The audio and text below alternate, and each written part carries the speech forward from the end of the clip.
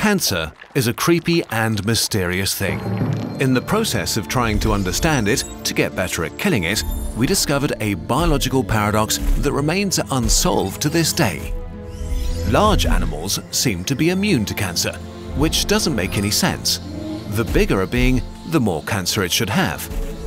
To understand why, we first need to take a look at the nature of cancer itself.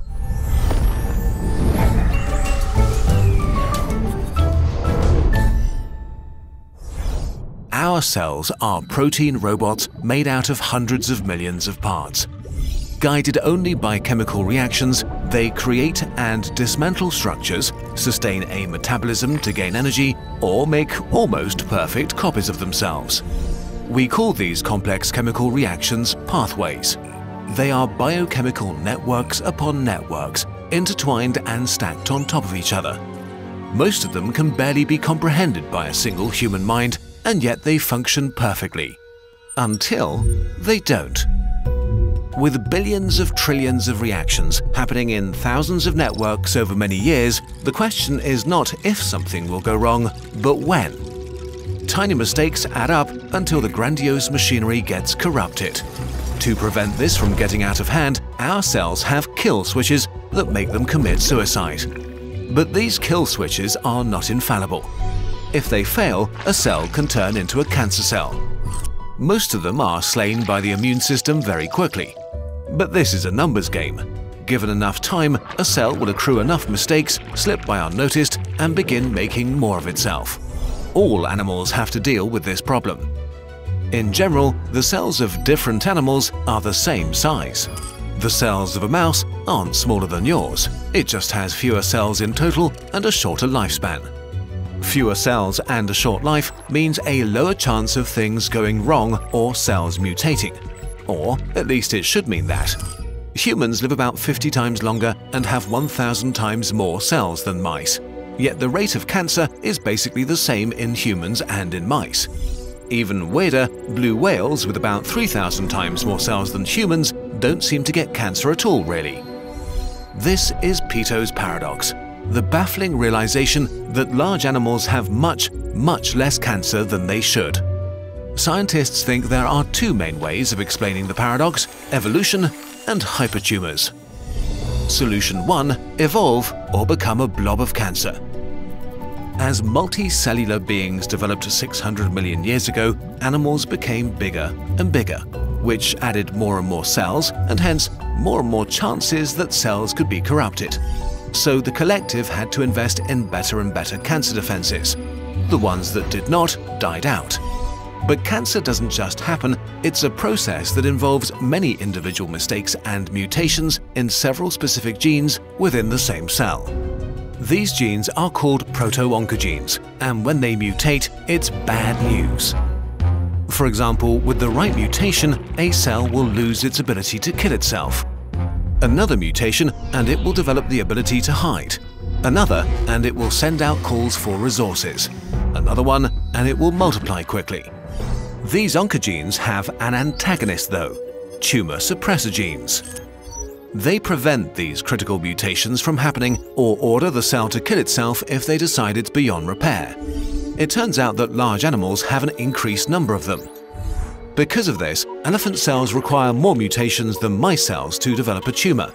They are not immune, but more resilient. This adaptation probably comes with a cost in some form, but researchers still aren't sure what it is. Maybe tumor suppressors make elephants age quicker later in life or slow down how quickly injuries heal. We don't know yet. But the solution to the paradox may actually be something different hypertumors. Solution 2 Hypertumors. Yes, really. Hypertumors are named after hyperparasites, the parasites of parasites. Hypertumors are the tumors of tumors. Cancer can be thought of as a breakdown in cooperation.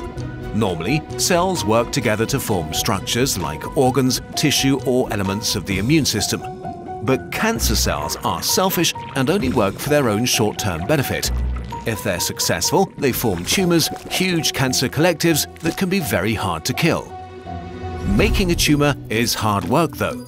millions or billions of cancer cells multiply rapidly, which requires a lot of resources and energy. The amount of nutrients they can steal from the body becomes the limiting factor for growth. So the tumour cells trick the body to build new blood vessels directly to the tumour to feed the thing killing it. And here, the nature of cancer cells may become their own undoing. Cancer cells are inherently unstable and so they can continue to mutate, some of them faster than their buddies. If they do this for a while, at some point one of the copies of the copies of the original cancer cell might suddenly think of itself as an individual again and stop cooperating. Which means, just like the body, the original tumour suddenly becomes an enemy, fighting for the same scarce nutrients and resources. So the newly mutated cells can create a hypertumour. Instead of helping, they cut off the blood supply to their former buddies, which will starve and kill the original cancer cells. Cancer is killing cancer.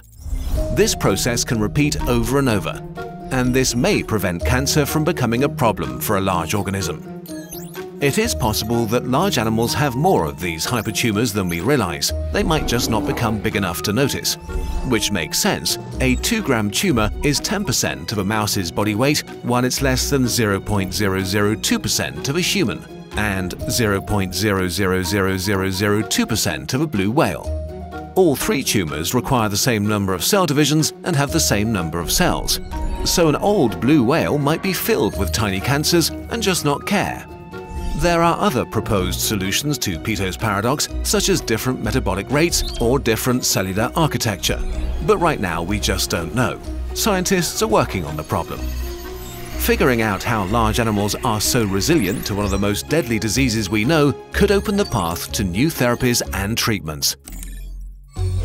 Cancer has always been a challenge. Today, we are finally beginning to understand it, and by doing so, one day we might finally overcome it.